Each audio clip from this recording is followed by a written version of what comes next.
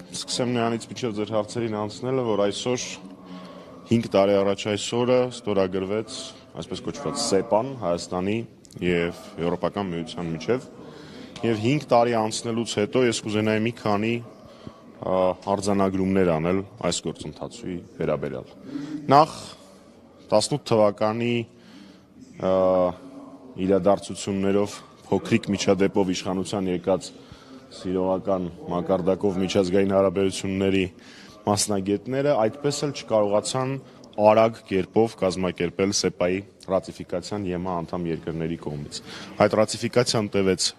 շփազանց երկար ժամանակ, շատ ավելին, քան այն կարող էր տևել, կային կային նախադրյալներ դրա համար։ Երկրորդ, այն մարդիկ, ովքեր փորձում են բնականաբար Երկրորդը առավել կարևորը այս խմբակը չկարողացավ նյութականացնել, մոնետիզացնել այն կետերը, որոնք ներառվել էին ՍԵՊԱ-ի մեջ, մասնավորապես Արցախյան հակամարտության հետ կապված։ Այն է հիմնարար սկզբունքների ֆիքսումը ՍԵՊԱ-ում։ Ես հասկանում եմ, որ այն մարդկանց խմբակը, ովքեր հայ-ադրբեջանական ենթադրյալ որևէ ստորագրվելիք փաստաթղթի մեջ չեն ուզում Արցախի մասին հիշատակում ունենալ, չեն կարող հասկանալ, թե ինչ կարևորություն ունի դա մեր եւ Արցախի համար։ Բայց ֆիքսենք, որ Հայաստանի եւ ԵՄ-ի միջև արկա կարևորագույն փաստաթղթում ֆիքսված էին հիմնարար սկզբունքները։ Այն է Արցախի ինքնորոշման, Արցախի ժողովրդի ինքնորոշման իրավունքը, որը հնարավորություն էր տալիս պաշտոնական փաստաթղթի մակարդակով զենք ունենալ բանակցային գործընթացում Եվրոպայի խորհրդի ներկայացուցիչի, ԵՄ անդամ երկրների ներկայացուցիչների եւ ղեկավարների հետ բանակցությունների ընթացքում ներկայացնել ու ասել սա ձեր ընդունածն է։ Այստեղ ֆիքսված է ազգերի ինքնորոշման իրավունքը։ Երբևէ լսել եք որ Հայաստանի այսպես կոչված ԱԳՆ այս կամ այն ներկայացուցիչը կամ վարչապետի պաշտոնը զբաղեցնող անձը երբևէ հղում անի այս կարևորագույն կետին։ Այսինքն այն ժառանգությունը, որոնք մեզանից ստացել էին Հայաստան-ԵՄ հարաբերությունների համատեքստում, հստակ ֆիքսում էր Արցախի ժողովրդի ինքնորոշման իրավունքը եւ դա իրենք բացարձակապես չեն օգտագործել։ Ներողություն եմ խնդրում ավարտեմ։ Ինչպես նաեւ եւս մեկ կարևոր կետ, տեսեպայի մասին կարելի է շատ երկար խոսել, բայց ես մի կետին էլ կուզենամ անդրադառնալ վիզաների ազատականացման գործընթացի հետ կապված եվրոպական միության պաշտոնյաների թե խոսույթը բանավոր մակարդակում եւ թե խոսույթը գրավոր փաստաթղթերում բացարձակապես չի փոխվել 2018 թվականին հանրապետականի իշխանության օրոք եղած խոսույթից այսինքն պատրաստակամություն ցանկություններ պլանավորում, որ դա այս այս կամ այն պահին տեղի է ունենալու, բայց որևէ քայլ, որևէ սանտիմետր առաջ այս իշխանությունները այդ հարցում չեն գնացել։ Այսինքն ստանալով 5 տարի առաջ մեր իշխանության օրոք բանակցված ՍԵՊԱ-ն, իրենք որևէ կերպ այն չօգտագործեցին, իսկ ռատիֆիկացիան չեմ ուզում ասել ձախողեցին, բայց այն տեմպը, որով այն տեղի ունեցավ, հավասարազոր է ձախողման։ Այ հիմա հարցեր։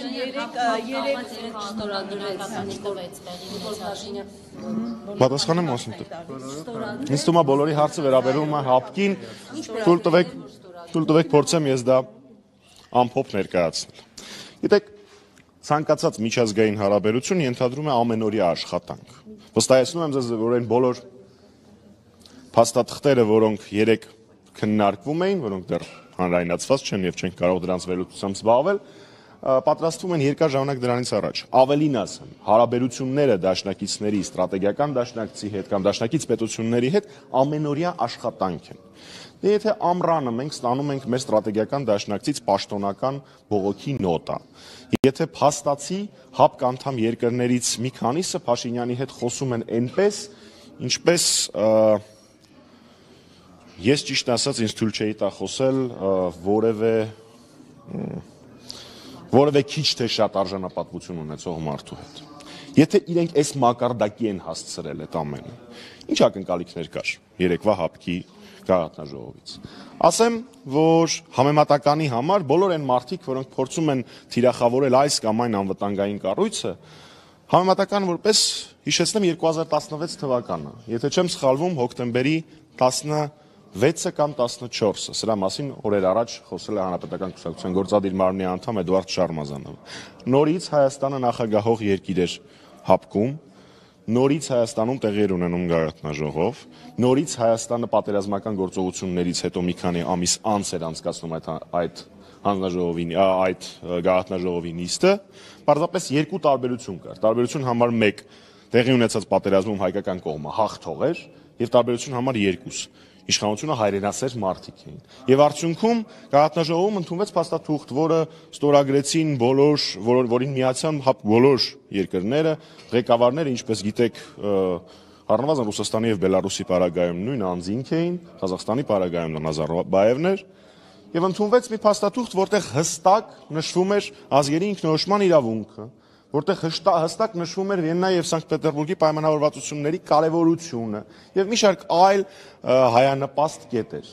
Ես խնդրում եմ, որպեսզի մեր քաղաքացիները հետևություն անեն արդյոք խնդիրը որևէ միջազգային կառույցի մեջ է, թե այդ միջազգային կառույցում Հայաստանը ներկայացնող այսպես կոչված պաշտոնյաների մեջ։ Մեզանից պետք է այն չեն արել հատկապես որ հայտարարում են որ Ադրբեջանը օրինակ իրենց մարդն է, Ադրբեջանը իրենց բարեկամ երկիրն է, Հայաստանի իշխանությունը ինչ պետք է անի, որ չի արել եւ այսօր այդ քաղաքական հայտարարությունը այդ կառույցի վերջը չի արել։ Եկեք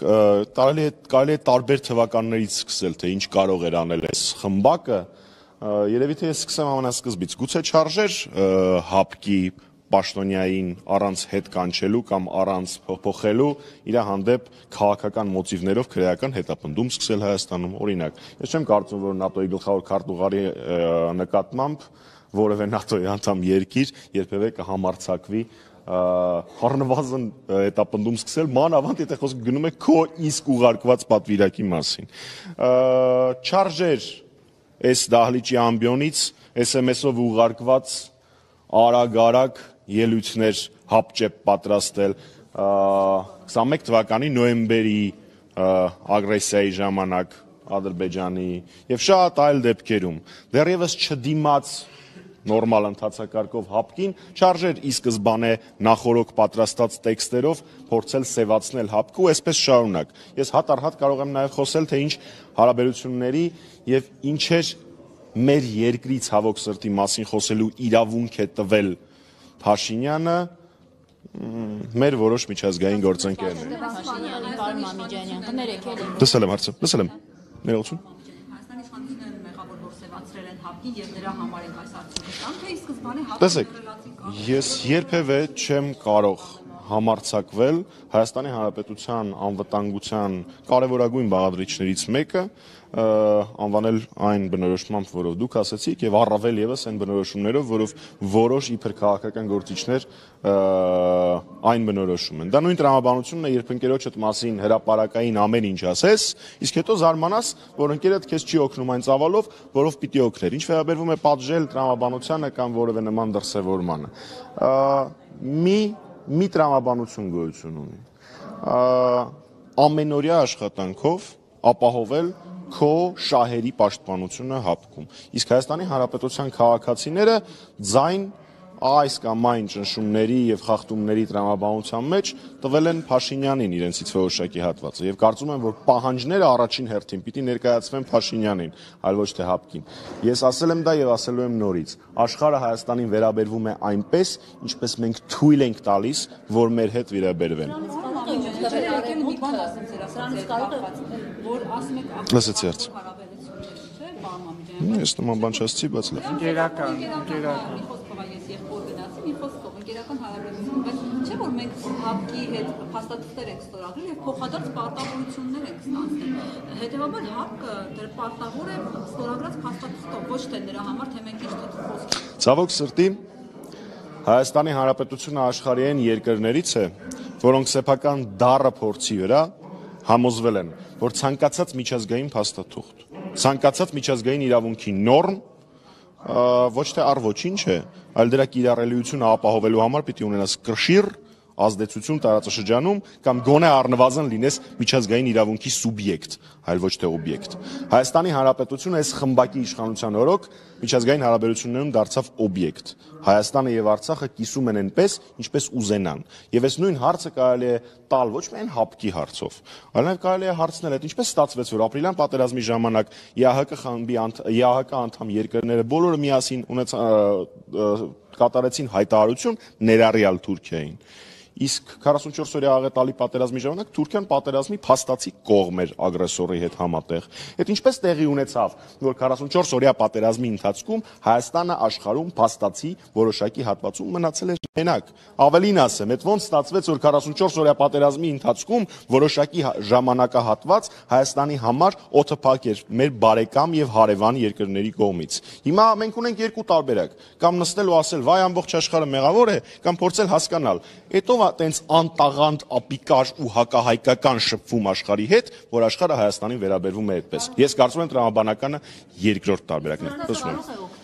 արևմուտքը եւ փորձել այս լարված իրավիճակը հապկի ըստեյցան այլ Ռուսաստանի հետ այստեղ այսպես իր ոդկը բնդասնել, որտեղ երեք Լուկաշենկոն քրտինի դժգոհել է, որ ինչ գործ ունի արևմուտքը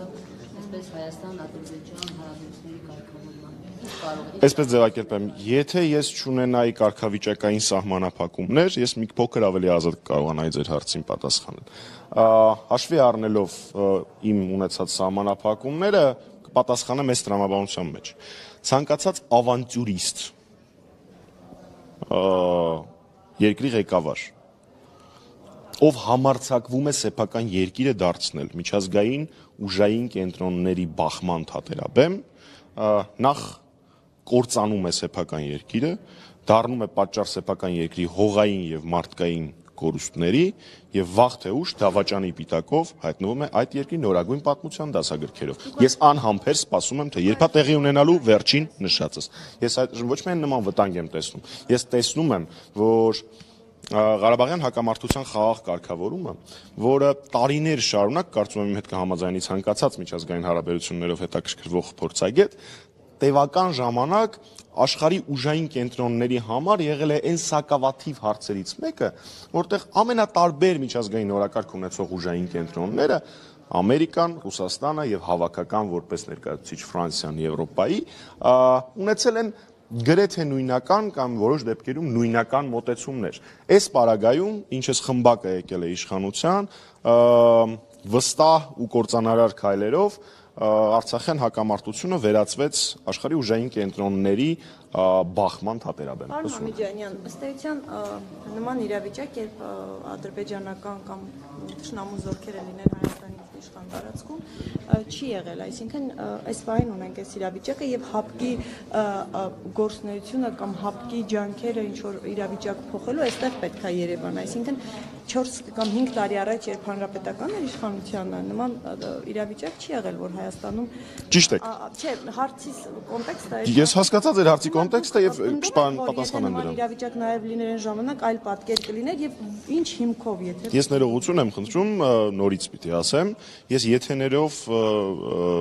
միջազգային ինչպես կվարվի Պատասխանեմ։ ձեր ը, թիմը Եթե- եթե իրավիճակում այլ Ես եթեներով միջազգային հարաբերությունների հարցերին չեմ պատասխանում, ես դες բերեմ հստակ օրինակ, որը արդեն իսկ բերեցի, երևի ուշ եք մեզ միացել։ Շատ ավելի բարդ իրավիճակում։ Ինչպես գիտեք, ՀԱՊԿ պատասխանատվություն է կրում Հայաստանի Հանրապետության սուվերեն տարածքի համար։ Շատ ավելի բարդ իրավիճակի պարագայում 16 թվականի Ադրբեջանի կողմից Արցախի նկատմամբ ագրեսիայից հետո եւ հայկական կողմի հաղթանակից հետո 16 թվականին հոկտեմբերին Երևանում Հայաստանի նախագահությամբ, ինչպես ես մի քիչ առաջ ասացի, ընդունվեց հայտարարություն, որը պարունակում էր թե ազգերի ինքնորոշման իրավունքը, թե պարունակում էր Վիեննայի եւ Սանկտ Պետերբուրգի կարևորագույն պայմանավորվածությունները։ Եկեք ես ձեր հարցին պատասխանեցի ոչ թե եթեի դրամաբանության մեջ, այլ ներկայացրեցի ավելի բարդ իրավիճակ, երբ խնդիրը վերաբերվում էր Արցախի նկատմամբ ագրեսիային եւ ներկայացրեցի հապկի ռեակցիան։ Եթե թույլ տաք ես ձեր եթեին կոնկրետ չպատասխանեմ, թե ինչ տեղի կունենար, այլ բերեմ օրինակ, ինչպես արեցի, երբ ավելի բարդ իրավիճակում հապկը տվել էր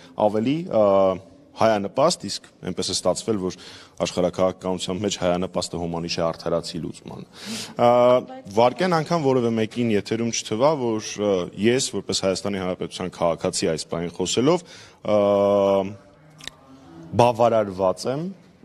մեր երկրի նկատմամբ տեղի ունեցող այս կամ այն միջազգային կառույցի, այս կամ այն ուժային կենտրոնի վերաբերմունքով։ Բայց դրա պատճառները ես սովոր եմ փնտրել այն մարդկանց մեջ, ովքեր երկա- ներկայացնում են ցավոք սրտի երկիրս այդ միջազգային կառույցներում, որովհետև համեմատական օրինակներով ես բերեցի, որ կառույցները նույնն են մնացել, փոխվել են ընդհանրապես դրանցում ներկայացնող մեզ կարելի է այսպես անվանել անհատները։ Փաստաթղթի չստորագրելը ինչ հետևանքներ կարող ունենալ փաստաթղթի չստորագրելը, սա կարող է պատճառ դառնալ, որ ՀԱՊԿ վերանայի իր որոշումը եւ հասցեական հայտարարությամբ հանդես գա, որ ադրբեջանցիները հեռանան տարածքից, թե կարող է սա պատճառ դառնալ, որ Հայաստանը ՀԱՊԿ-ից դուրս գալու հիմքեր Կարող են ներկայացնի։ շատ տարբեր հետևանքներ դրան հաջորդել հաշվի առնելով ՀԱՊԿ-ի ներկայացուցչի հայտարարությունը գագաթնաշողովի ավարտին, կարծես թե ենթադրվում է դրանց որոշակի փոփոխություն, վերանայում, լրամշակում եւ ապա դրանց ստորագրում կամ ընդունում, այսպես անվանենք, բայց մի շատ տրամաբանական հարց կա։ Եթե հայկական կողմը, ինչպես ես բազմիցս ասել եմ,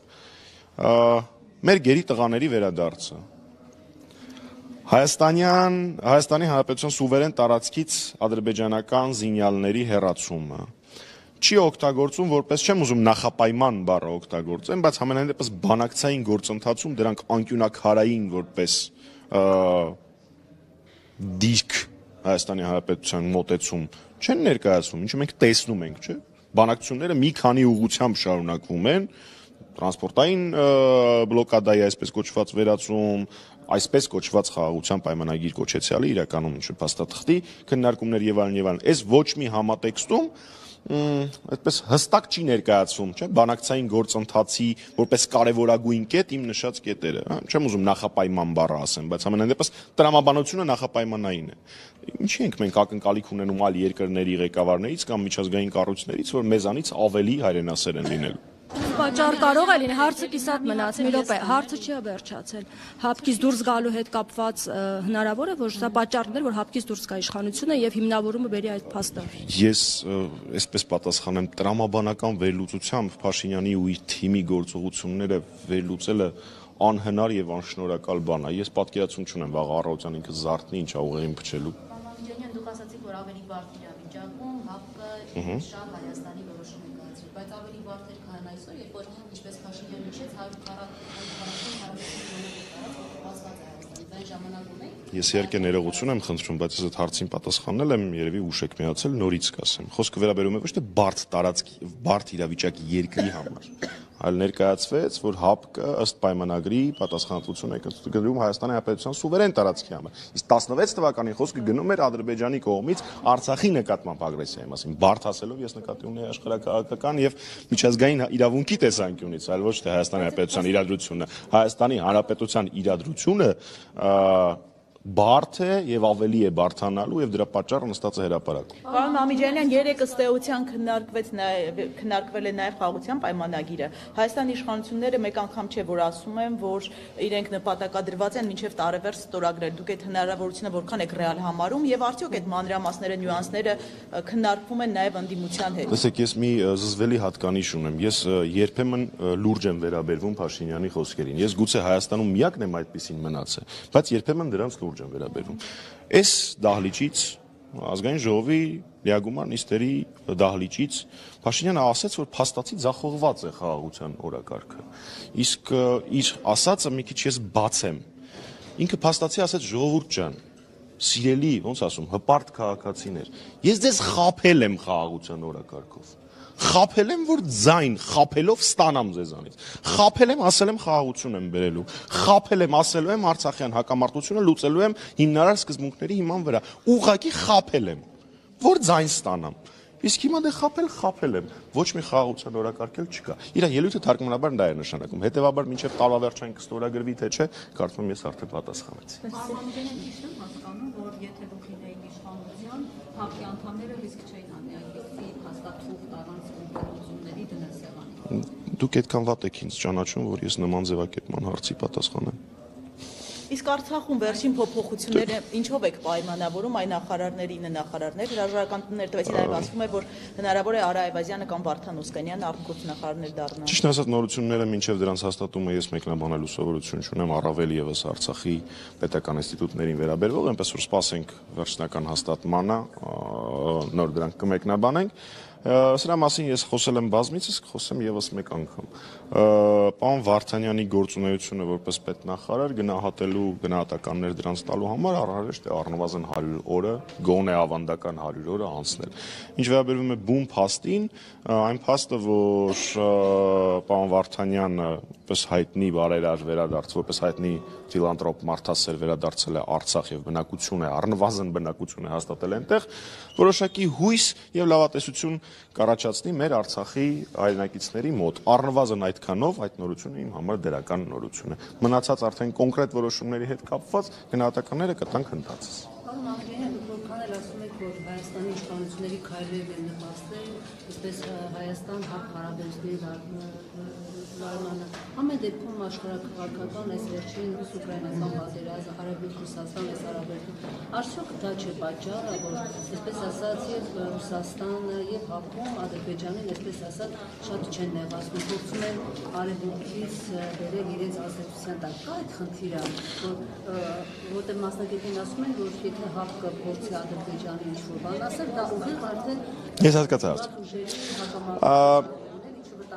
Տեսեք, մեր տարածաշրջանը միշտ է եղել բարթագույն տարածաշրջաններից մեկը թե զինատեսակների եւ զինամթերքի դրանում կൂട്ടակման տեսակարար կշռով թե արկա կոնֆլիկտների ակտիվությամբ, թե շահերի բախման քանակով եւ այլն եւ այլն։ Իմ գործընկեր Արտակ Զախարյանը մի շատ հետաքրքիր